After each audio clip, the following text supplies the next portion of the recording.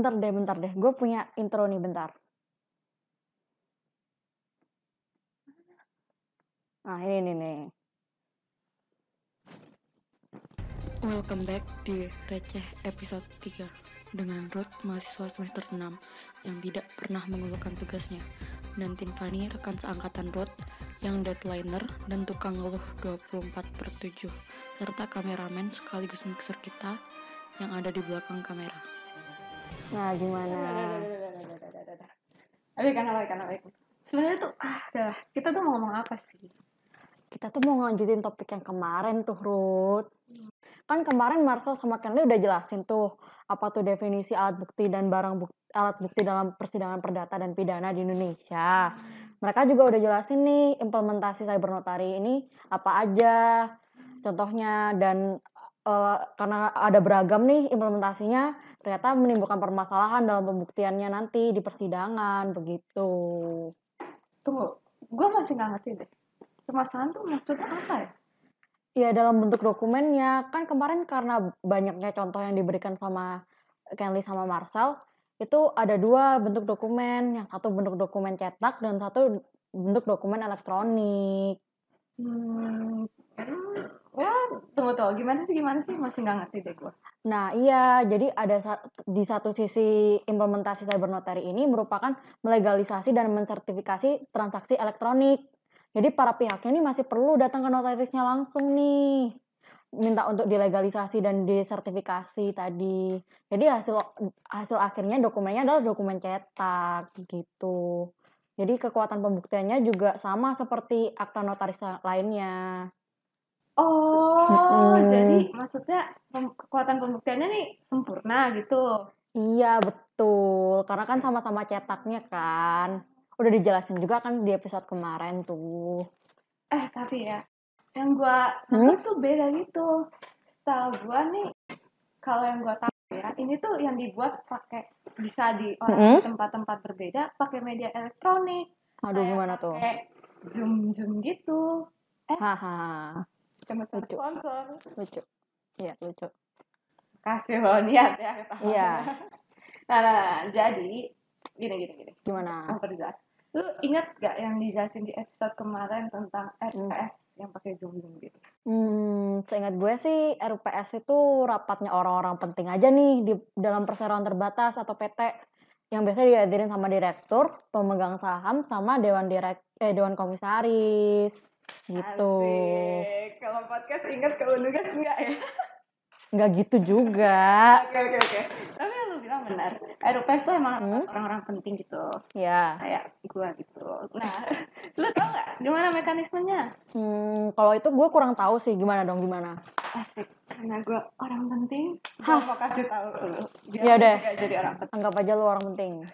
Jadi nih, Ah, RUPS tuh kan kayak rapat kita biasa gini. ya. Nah, kadang tuh rapatnya tuh butuh ke notaris, kayak misalnya hasil rapatnya. Mm-mm, ya gue paham Nah, situ. Itu tuh dia panggil notaris, eh ikut dong RUPS kita. Mm-mm. Nah, dia manggilnya bisa dua cara. Gimana gimana tuh? Satu nih, kayak manggil biasa, eh ikut-ikut RUPS kita. Datang langsung dong tuh. Iya, betul.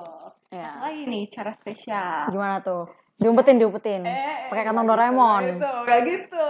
Eh, tenang, tenang, tenang. Nggak gitu. Gimana Ini dong? spesial, cuma ada beberapa orang doang yang tahu. Gimana gimana? Tipsnya.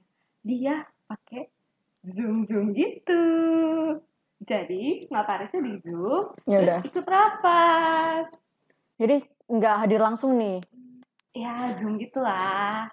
Hmm, oke oke. Terus kalau nggak hadir langsung gimana dong tanda tangannya? Ah, pertanyaan bagus. Gue suka, gue suka. Hmm? Jadi tanda tangannya itu bisa dia tanda tangan langsung. Mm-mm. Kan dia bikin akte nih tanda tangan langsung. Mm-mm. Bisa juga dia tanda tangannya pakai elektronik. Online. Oh, terus terus terus. Nah, terus habis dia udah tanda tangan, dia tuh pakai zoom zoom itu tadi, dia ngasih tahu ke para peserta rapat RUPS ini, kayak Hmm. oh ini loh hasil aktanya. Terus nanti dia minta ke para peserta tanda tangan hasil akta itu. Nah, tanda tangan ini bentuknya digital. Oh, paham paham. Eh, gue baru inget kan tadi gue bilang permasalahan dalam pembuktian ya. Kayaknya ini nih yang dimaksud sama Kelly sama Marcel permasalahannya. Dokumennya dalam bentuk dokumen elektronik. Oh, Tuh, tuh. Mm-mm. Jadi gimana, gimana? Lo inget gak sih yang UU ITE tahun 2008? Hmm, yang Ha-ha. heboh-heboh itu bukan sih? Iya, iya itu. Kan di situ di pasal 5 ayat 4-nya nih bilang kalau akta notaris yang dibuat eh, dalam bentuk dokumen elektronik ini tidak dapat dijadikan a- alat pembuktian di pers- dalam persidangan gitu, nggak bisa jadi alat bukti. Tunggu. Tunggu, tunggu. Tapi ya, Ya, karena gua update nih. Update apaan? Tunggu, tunggu, tunggu. tunggu. Kenapa gitu? Hmm, kalau menurut sotoy gue nih, soto gue, Anjay, santai. ya, teori gue, teori gue. Asik, asik, asik. Siap, siap, Prof. Siap, Prof. Jangan prof dong, belum, belum. Doain Apa amin nih, deh. apa nih, apa, apa? Nah, kalau menurut seingat gue nih ya, kan eh cyber notary ini baru disebutkan dalam pasal 15 ayat 3, penjelasan lebih tepatnya, di perubahan Undang-Undang Jabatan Notaris tahun 2014 nih. Sedangkan Undang-Undang ITE ini baru eh, disahkan sejak saat eh, sejak tahun 2008. Jadi lebih keluar dulu keluar yang Undang-Undang ITE dulu dibanding Undang-Undang Jabatan Notaris ini perubahannya ya maksudnya gitu. Jadi menurut gue mungkin pada saat Undang-Undang ITE ini disahkan belum ada nih implementasinya cyber notary ini di Indonesia gitu. Tapi menurut gua lu kurang update. Gimana tuh? Nih, setahu gua nih ya, UU JN itu ada yang perbaruan terbaru tahun 2016.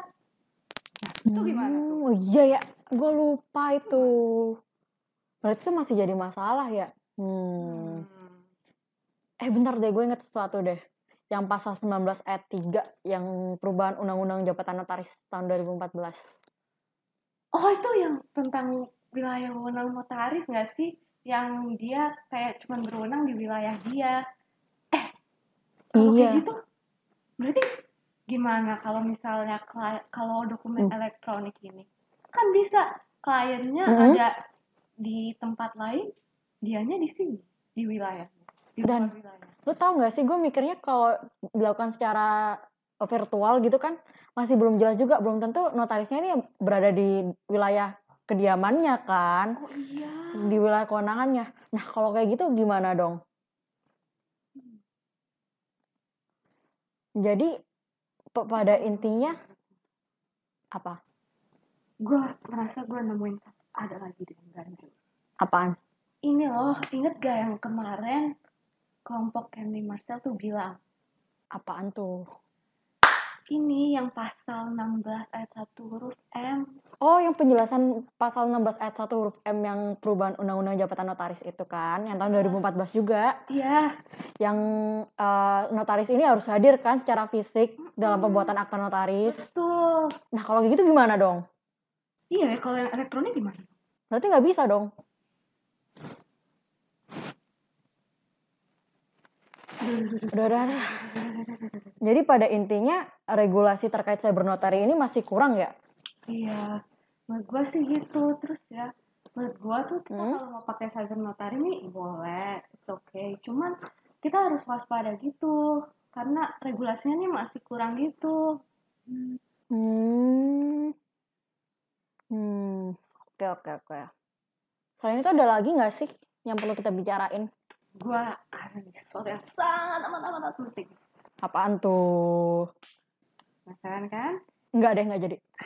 Ini penting banget. Oke, oke. Yaitu- Gue jadi penasaran deh. Ya, Drung. bro. Jangan lupa comment, like, and subscribe. Eh, nggak gitu. Nggak bisa gitu. Ada yang lebih penting lagi. Lu lupa nih. Apa-apa. Buat Bapak Ibu tim pengajar TCP, nilai kami tolong kasih ayah. NANI